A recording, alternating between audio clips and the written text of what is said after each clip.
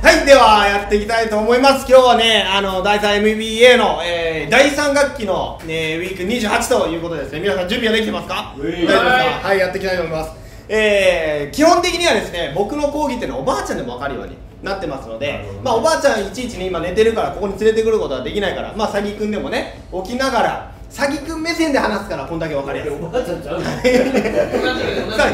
さっき100かけるね。100万ができない竹さんが急に言われてできないね本当だよもう。小卒だもん。はいやっていきますよ。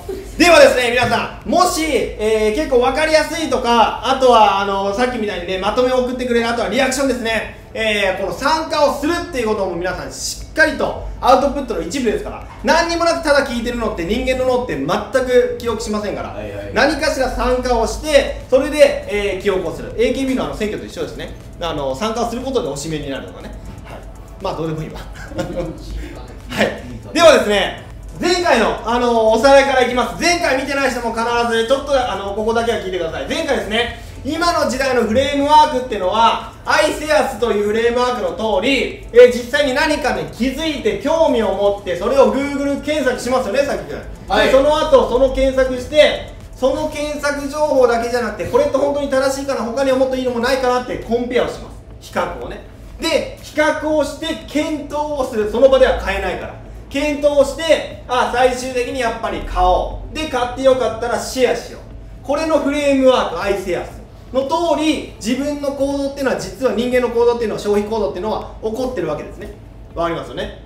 で前回やったのはこの気づきの部分ではインスタの活用と YouTube 活用して ME を活用しましょうね。で、えー、興味を持たれるっていう部分ではインスタでは実際に共感と情報の発信。あとはインスタ上では、えー、自分の、えー、何でしたっけ？これ。コンプレックス。をやってソーシャルアバターを作りましょう。でそれを継続的に発信しましょう。ザイオンス効果ですね。で YouTube では1回1回の動画を出すんではなくて第1話第2話うちと一緒ですね。今ウィーク28ウィーク29 30ってやることによって興味がずっと引き続けられますよ。でさらに Google で検索された時いきなりね SNS で認知を獲得してもそれを全部調べるわけあの信じるわけじゃないんですよ。それを二次情報確認で検索をするんですね。その検索するときにオウンドメディアって言って自分のホームページではなくて自分の、えー、ホームページをいろんな、えー、会社と比較しているようなオウンドメディアを自分で作っちゃいましょう。だからこそ比較された時にこのコンテンツいろんなね、あのー、YouTube で言ってることインスタで言ってることのようなコンテンツを集約できるんですよ。比較された時にねっていうのが前回までのやり方でした。ここまで大丈夫ですね皆さん。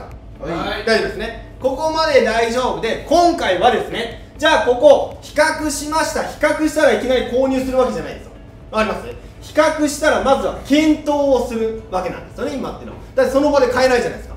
でちなみにこの今回のセッションは竹花がカフェをゼロから本当に起業したらどういう風にやるかこれがカフェなだけであってオンラインだろうが実は、えー、エステだろうがプライベートジムだろうがこれが、えー、実際に俺がやるマニュアルですのでこの通りに今回やってください。前回のと今回のくっつければ竹花がカフェを起業するならこうやるよっていうマニュアルが全部わかる。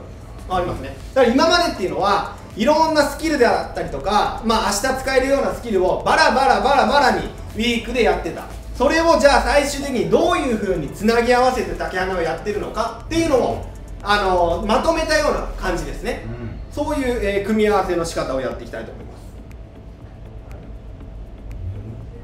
じゃあ目がかゆい。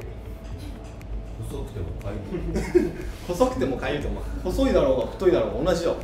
ゴミ入るのかな詐欺詐欺じゃねえいやこいつ昨日うんこ自分で拭いに行ったしかもめっちゃ騒いだら周り全員俺らのこと知ってる人だから。めっちゃタグ付けできてさっきうんこ踏んでましたよ どんなリークのされ方？ではやっていきますよ。検討からやっていきたいと思います。まずですねこの検討をするっていうところには3つ大事なポイントがあります。これをやっていきましょう。まずは information、information break up ですね。情報の分散をしていきましょう、うん、ねそれを検討する人に対して発信する。情報を分散して発信する。で次にコミュニティをしっかりと作りましょう。で最終的に unique selling proposition。これは皆さんもう4回目ぐらいですよね、これは分かってほしいです。この3つをしっかりと、えー実施していきましょう。まず1個1個やってみましょう。おばあちゃんでもあります。 information break up。この検討段階ではなぜ情報分散が必要なのかなんでかっていうと例えばですよ皆さんね比較サイトをさっき温度メディアを見せていろんな競合とね比較された。であとは YouTube の動画を見る。でもあなたは20分後には42%を忘れるんですよ。わかります？この俺の言ってることも20分後には42%忘れる。これが人間の脳です。わかりますね？で2時間後には58% 1日後には74%でさらに1週間後には77%ってことはこの検討をしている期間っていうのは忘れてる期間だというふうに感じてください。わかりますね。例えばあなたのカフェ。ああこのカフェ今度行ってみたいんだよね。20分後には忘れてるんです。わかりますね。検討をするっていうのは忘れてる期間なんです。わかりますね。だから検討期間じゃない。忘れてる期間だと思ってくださいね。でここの忘れてる期間にね、じゃあ例えば思い出させようって言って毎回ブログを発信する YouTube を発信する、うん。でもじゃあ佐木君ね、はいはい。ホテルでビュッフェに行きます。ああら。ね、ビュッフェに行ったとして、ね、ビュッフェにはチキンもバーガーもフィッシュもいろんなものがありますと、ね、それをビュッフェに行ったらどういうふうに取るお皿に？いやまあ全部食べたいんでちょっとずつ。ちょっとずつ取るよね、う情報も一緒なんです。ブログで A のコンテンツ B のコンテンツ C のコンテンツ D のコンテンツこれをバーって書いていってもそれってちょっとずつしか覚えないんですよ。うん。わかります？だからこそ一番重要なのっては分散認知を行うこと。情報を小出しにする。小出しにして継続することが重要なんだよっていうことなんですよね。だから、えーこの分散をするっていう時に、えーしっかりとコミュニティを、えー作っていかないといけない、うんあります？このコミュニティの作り方っていうのはこういうことなんです。例えば皆さんが、ねえー実際に、えーお店に集客をしたいとお店に来てほしいとします、うん。お客様にね。まだ知った方がね。はいはい。ね、この人をお店に連れてくるのをこれを目標とするコンバージョンとするとこれって結構な大きいしんどいな。ね、しんどいんですよ、うん。これね。でもこの人をお店に連れてくる前にマイクロこのコンバージョンをマイクロコンバージョン化してまずは今まで持ってた YouTube とか Instagram の情報とは別に、はい。コミュニティ媒体の情報を発信の場所を作るこれを目標にしてここに人を集めることを目標にすれば自然とこっちに来るんですよ。わかります？なので例えば Facebook のコミュニティページを作る Instagram のこの公開アカウントじゃなくて非公開アカウントを作る、えーそういうふうにしっかりと今いる、えーインスタだったり YouTube だったり、まあ、あの前回のショーで話しましたね。どういうふうに人が集まるのか、集まった人たちをお店に呼ぶ前にもう一個違う媒体を一個かませる。ここが一番重要な顕在層になるわけなんですね。でここに実は1000人集まればもうこのお店は成功したも同然なんです。これはもう毎回言ってます俺。1000人の法則ですこれどんな事業でも1000人のファンを集めれば成功するんです。成功するんですよ。わかります？で佐木くん例えば今インスタに1万人いますよね。1万人っていうのは佐木くんを知ってる人なんです。はい。別に佐木くんのファンではないです。そんなこと言わないで。いやそうなんです。でもだ例えば竹花は今17万人俺のことを知ってる人がいます。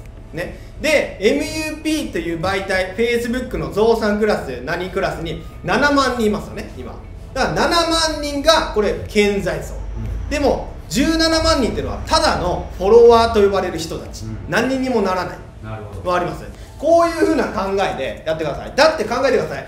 お店に来る前にそのそうお店に興味がある人はここにいてねっていうボタンのワンクリックもしない人間たちをお店に来るはずないですよ。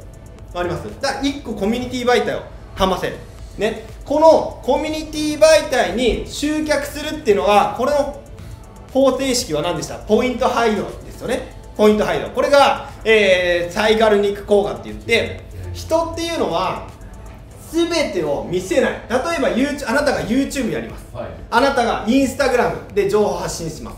でそこでは YouTube でも全部の情報を発信しないこと。ね。ポイントを配慮して途中でやめることでさらにここのコミュニティ媒体っていうのに質がいい媒体ですね。質がいい媒体に誘導することができるありますね。途中でやめるんです情報わざと全部出さないんです。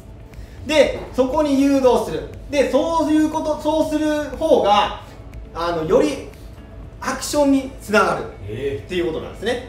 そう。なので、えーまずポイント入るまずは YouTube でやる。こういうイメージですね。YouTube をやる。インスタをやる。ここにただのフォロワーを集める。ここはまずフォロワーなんですよ、まあチャンネルそう。ここも大事なんだけどチャンネル登録者数。でもこれは認知ですから。認知。認知の目的っていうのは人に知られること。ね。だこの名前は知ってくれた。そう。ね、これが潜在層ですね。お店に来るかもわからない。サービスに申し込みが来るかもわからない。潜在層はいっぱいどんどんどんどん貯めてください。でもこの潜在層を潜在層のままでいるうん。業者あの会社が多すぎる。個人が多すぎるこの潜在層をしっかりと例えばこの中から、ねえーオウンドメディア Google で検索してお店だったりとか詐欺くんのことを検索してくれる人がいるかもしれない。嬉しいね、そのそのまま実際に違うコミュニティページに来てくれるかもしれない、うん。とにかくまずこの YouTube とかインスタで潜在層を獲得したフォロワーを獲得する。その後にこの準顕在層っていうオウンドメディアを読んでくれたらこれは興味がある人だよね、うん。準顕在層になるよね。でさらにその後にしっかりとこのコミュニティページね、ファンページです。言ってしまえば。お店のファンページ。よく Facebook とかでありますよね。ここに溜まった人たちっていうのはこれは顕在層なわけです。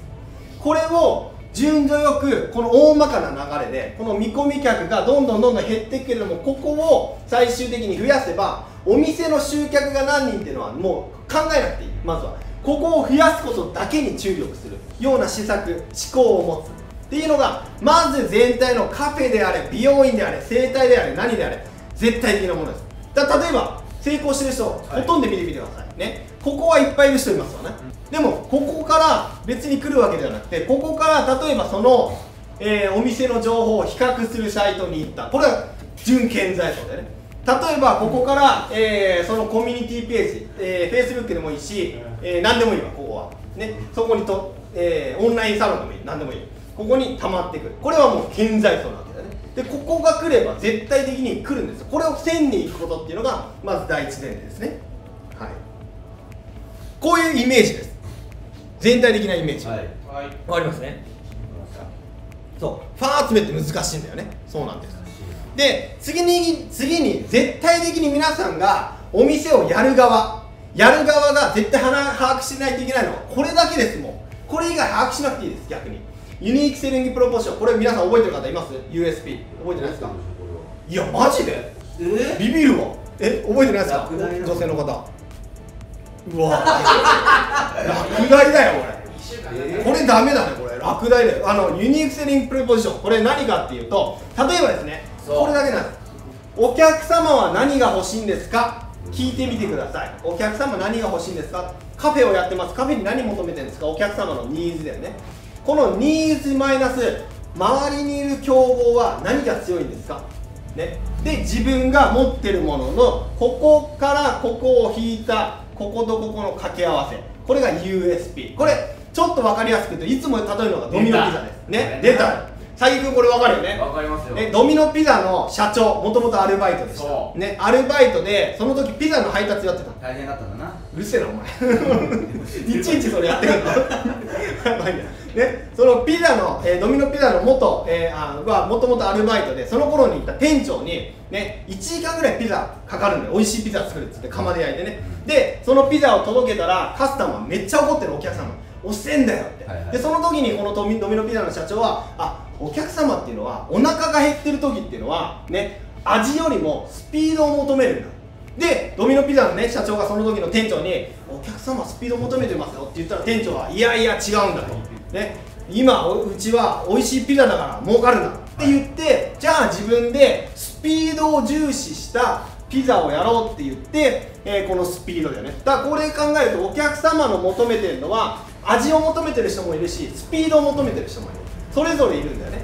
でそこからじゃあ競合が提供できてるのは味なんだよね、味。ってことは味で勝とうとしないでスピードを勝とうとする。ここが USP 賢い。ね、ここで勝負する。でここあなたのお店のここは何なんですか？っていうのを考えないといけない。例えばカフェをやるって言ってんの俺。はい。カフェをやるって言ったらじゃあカフェをもとカフェをやります。お客様が求めてるのはカフェに求めてるの？居心地の良さ、はいサイズ感。あのカフェラテだったりのサイズ感とか。あとお持ち帰りで、えーお持ち帰りしやすいかとか。ね。なんかいるじゃん。よくなコップもつけないでどうぞみたいな。あれ困るよね、うん。お持ち帰りね。まあとにかくお客様の求めてるのってはまあこういういろんなことを求めてるわけですね。じゃあじゃあ近くにあるカフェっていうのはめちゃめちゃもうあのリラックスできるカフェです。ってなったらうちのカフェはリラックスっていうところの強みを押し出すよりももっと違うこのここの部分だよね。サイズでサイズがもうめちゃめちゃ大きい。っていう強みがありますとか、はい。あとは持ち帰りがめちゃめちゃ可愛いランチパックだったりとかあとはもうカップだったりとか持ち帰りなんです。もう持ち帰り専門店なんですみたいな。